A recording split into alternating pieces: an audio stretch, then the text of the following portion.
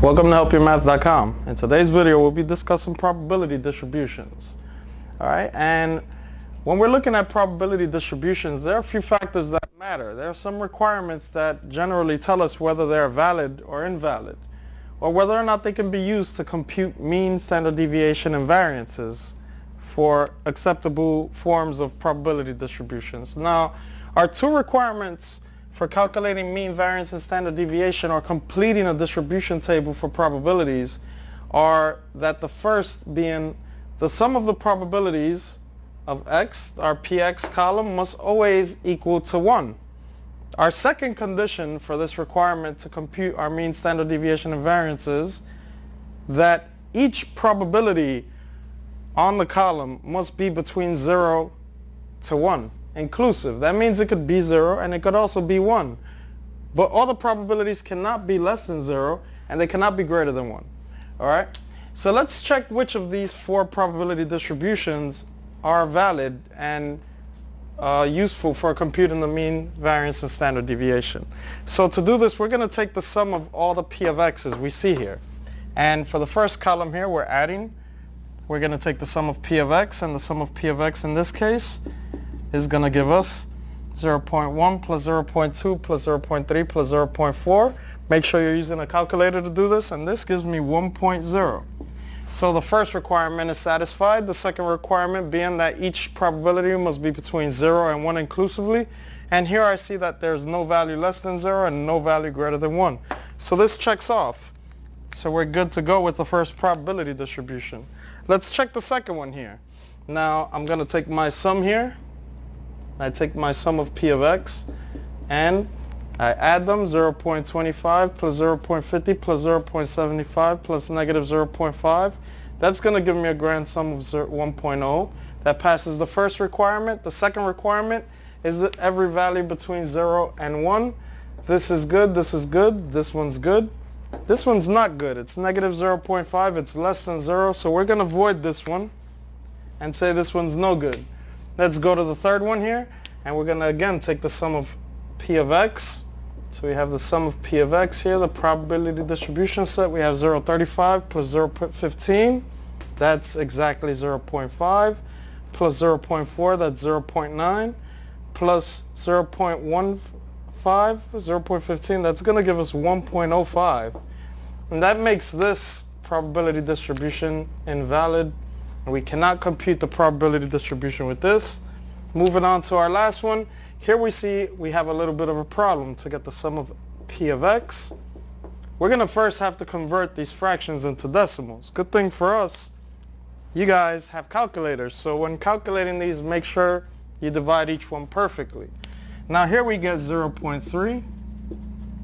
For this one we get 0.2. This is 0.1. And finally, for 9 over 20 is 0.45. Now when we add these, let's add the extra little decimal place to make this friendlier for me. And this is going to give me a 5 for the last digit. Next digit, 4, 5, 6, 7, 8, 9, and 10. 0.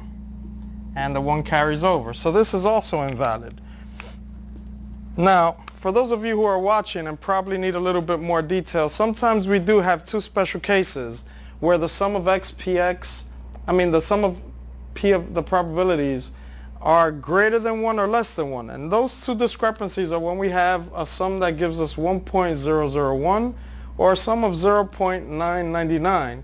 And the only reason why I'm mentioning this is because I'm coming across these fractions and remembering if I have one third plus one third and one third and I change these to decimals, I get 0.33 0.33 and 0.33. However, if I add these fractions, I get perfectly 3 over 3, which make a perfect 1. If I add these decimal numbers, I get 0.999. And this is only a special case scenario, so keep that in mind whenever checking for your sum of, of your sum of probabilities. However, since we have one table that actually works and is valid, Let's compute the probability distribution table for that value. And let's compute our mean, our variance, and our standard deviation. So since this one works, let's get this out of the way. And let's get our formulas in the way, right? So let's start with our mean formula. Our mean is called the expected value.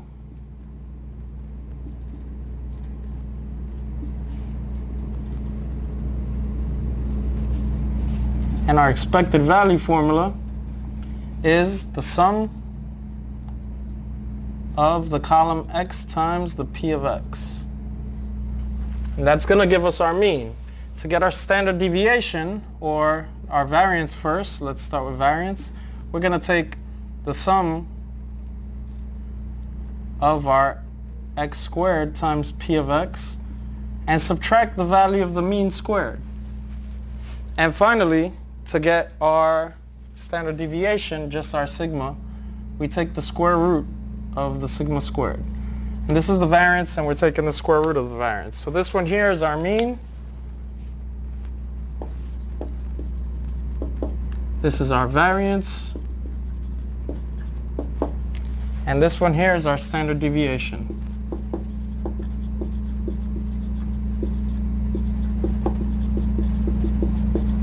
Okay, now that we have our formulas for each one, let's complete the table so that we can get to these values. And to complete this table, we're going to have to compute a few other columns that we're going to create here.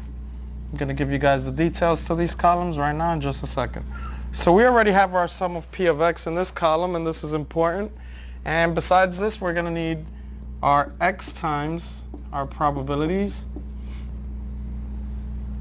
and this is going to be used to compute our mean. As you can see, the mean is the expected value, which is the sum of the column of x times the probability of x. Next to this, we're going to have x squared. Finally, we're going to have x squared times p of x, which is going to be used to compute both our variance and our standard deviations, all right? So now, to compute our x times p of x, we're literally taking our x column and we're multiplying it by our p of x column. So 0 times 0 0.10 is 0. I'm going to add a couple decimal places because I see every number here is going to have a result with two decimal places. Now for those of you who are watching the video, please be sure to use your calculator while making these calculations as errors will lead you to the wrong solution. Alright, 1 times 0 0.20 is just 0 0.20 for the second line here. 2 times 0 0.30, 0 0.60 and 3 times 0.40 is 1.20 all right? And now if we take the sum of this column we're going to find what we call our expected value. So I'm going to put that in the blue color here. We have the first value is 0 on the right hand side. The second value another 0 we carry the 1 over right? And 1 plus 1 is 2 our expected value is just 2 so I'll make a note of this right here. So we have our mean already one down, two to go. All right, let's continue computing across the board. Our next value is taking the column of x and squaring each value found on the column and inserting it for our x squared value. 0 squared will be just 0. 1 squared would just give us 1. 2 squared will give us 4. And 3 squared will give us 9. That's not such a bad column to make. We don't have to take some of this column either to compute anything that we have left over. So let's go ahead and make the final column. So we take this fourth column and we're going to multiply it by the column of p of x, which is our second column. So we're literally taking this value times this value and putting it over here. All right, so 0.10 times 0 is just 0.00. Then we have 0.20 times 1 is again 0.20.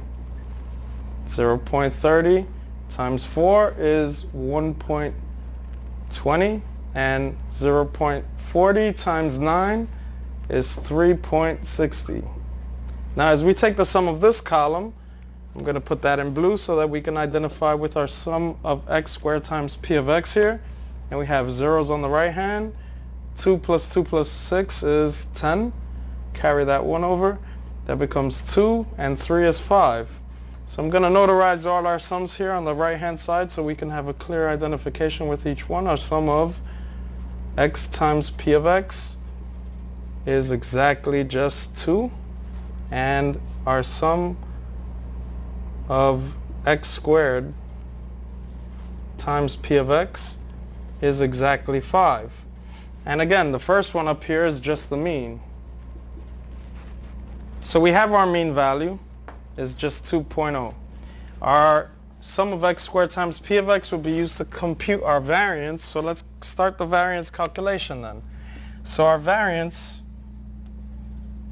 is going to be the sum of x squared times p of x, which is 5. And we're subtracting the mean value squared, right? So the mean value is 2, and we're squaring that 2. And this is 5, then take away 4, which is just 1. So our variance value is 1. And to do our standard deviation, we're just going to take the variance and take the square root of it. The square root of 1 is just 1, and there we have our standard deviation. So remember, when doing this, if your sum of probabilities adds up to 1 and each value of probabilities between 0 and 1, you can do this and complete this table, all right? Thank you.